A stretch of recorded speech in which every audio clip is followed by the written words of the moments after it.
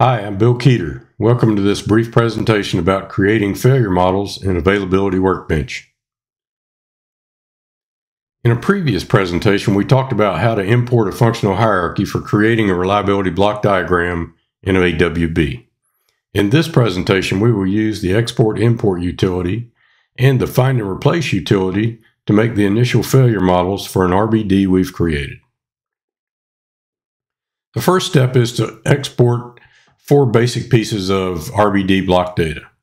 We'll use the file export utility, set it up for an Excel export, so making sure to check the column names in the first row and export no match are checked, navigate to a storage location for the Excel file and give it a useful name. We'll select the RBD blocks table from the application, and for the columns, we'll select the ID, description, failure model, and page columns to export. Then we'll perform the export. Once we've done that, we can go into the Excel file and we'll make a change to the failure model column. In that column, what we're going to do is concatenate the block ID with the letters .fm in the, in the failure model column. Once we've done that and copied and pasted that for the entire column, then we can come back and import the failure model.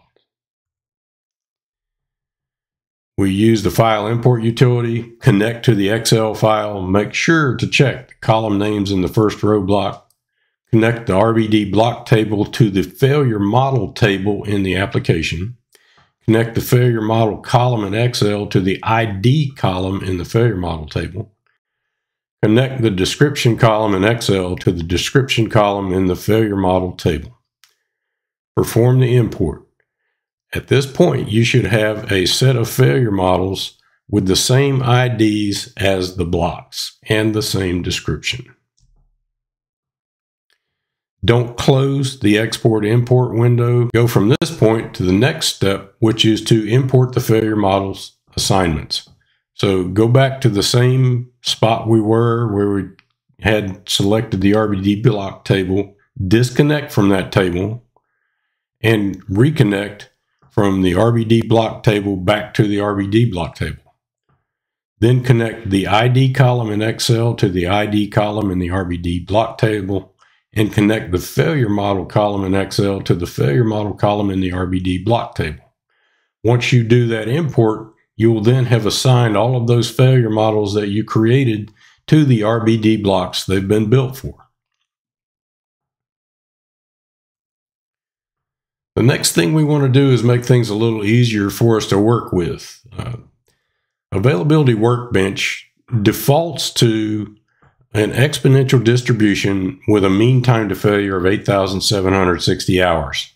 Uh, if we aren't careful with those, it can lead us to, uh, once we've assigned failure models, it can lead us to having failure models that are creating failures we're not interested in. So, one of the things we want to do is change this default from an exponential failure distribution to a fixed failure distribution that has a very large number. So, we'll go to grid view, select the failure models to look at, and then we'll do a search on the distribution column We'll search for exponential and change that to fixed. Then we'll search on the MTTF column, search for 8760 and change it to 1E9, which is equivalent to 1 billion hours. Once we've done that, we're all set to start working with the model. Okay, let's do this. We've got a model we've created. We've got uh, several RBD blocks that we've got in our diagram here. So what we want to do is take a look at these large numbers of blocks and create failure models to go along with those blocks. First thing we want to do is export that RBD data that we talked about in the slides. We'll select export. We'll set ourselves up for an Excel file. Make sure that we select column names in first row and export no match. Otherwise, it won't export anything if we don't do that one. We'll browse to a location to save it. In this case, we've saved it in the document folder. We've already saved one, but uh, we're going to overwrite that one. We've just got export import for failure models. We'll open that. So we're connected to that now. We can see connected database succeeded. We'll select the RBD block table and move it over there to be worked with. Then we'll select the ID column, the description column, failure mode column, or failure model column rather, and optionally the page column.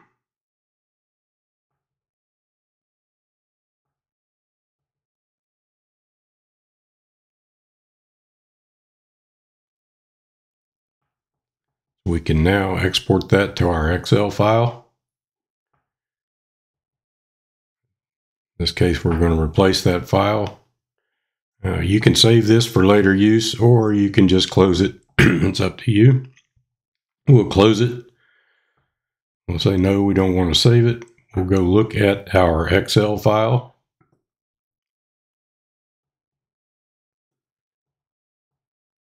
Here we can see it's this file that's saved in documents.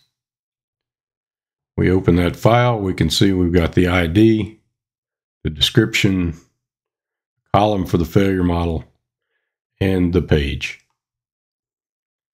So what we want to do next is create the failure model IDs, and we'll do that by concatenating the block ID to the letters .fm. So you just use the concatenate function. Select the ID, quote fm, quote, right paren to close that out. And now you'll get another failure model name there to go along with the block. As you can see, it fills in all of those blocks all the way down the row, all the way down the column. So now we can uh, save this file.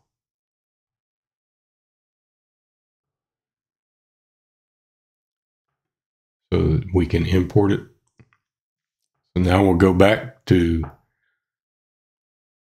select the import function.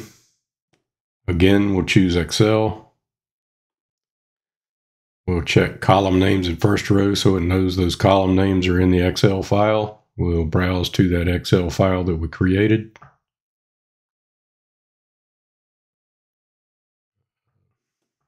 Should be in the documents folder. Export import for failure modes, for failure models. This time we'll match RBD blocks to failure models in the application.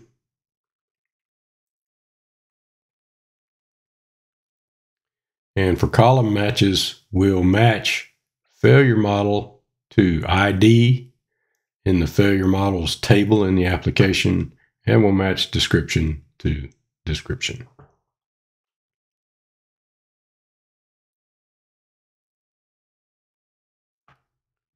So in this case, you'll have a failure model that has a description that's exactly the same as a description of the RBD block that you're looking at uh, you can obviously change those descriptions to whatever you would like them to be.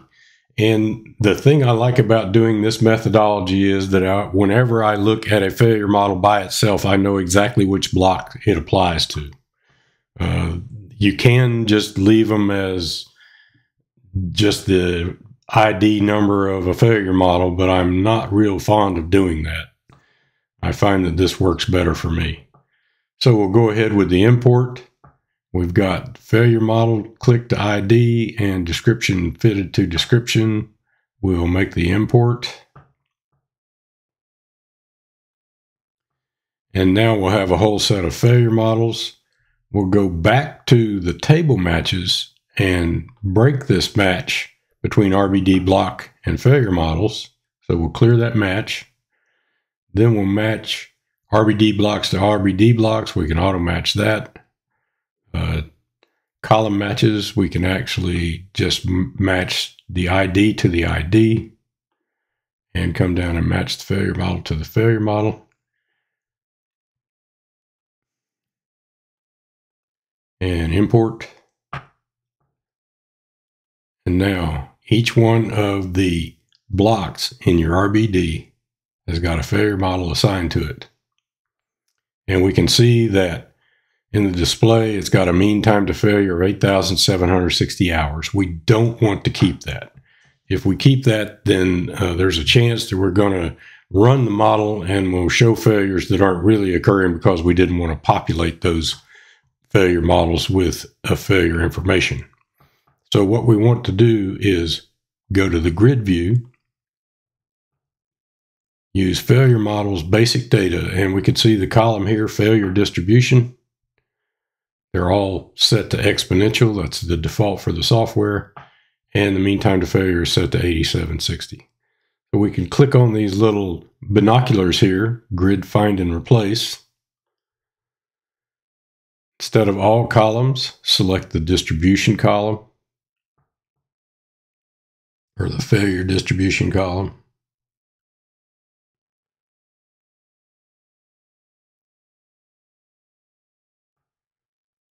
Find exponential.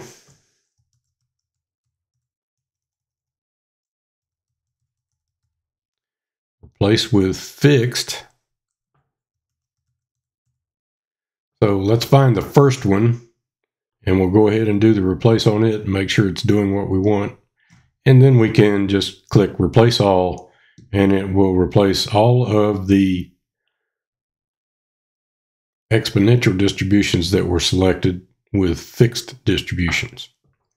Now we do the same sort of exercise with the mean time to failure, only instead of exponential, we'll type in 8760, so it will find the ones that are set to the default, and we'll replace that with 1E9, which is 1 times 10 to the ninth, or 1 billion hours. We'll find the first one, We'll do the replace to make sure it's doing that. And you can see it set it to 1 billion. And we'll replace all. And again, we've replaced all of the ones we created. So if we change the grid from failure models to blocks, we can see that all the blocks have got a failure model assigned to them. And the failure models have all been reset so that this very large number for a fixed failure, only the failure models that we put failure information in will create failures when we run the model. Thank you for attending today's presentation about creating failure models. If you desire more information about the Isograph product we looked at, or information about how to get additional training, please contact Brett Peterson at 1 801 610 0045 or bpeterson at isograph.com.